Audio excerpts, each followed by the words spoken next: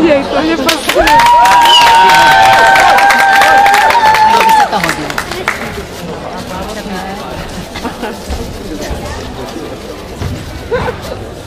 Thank you.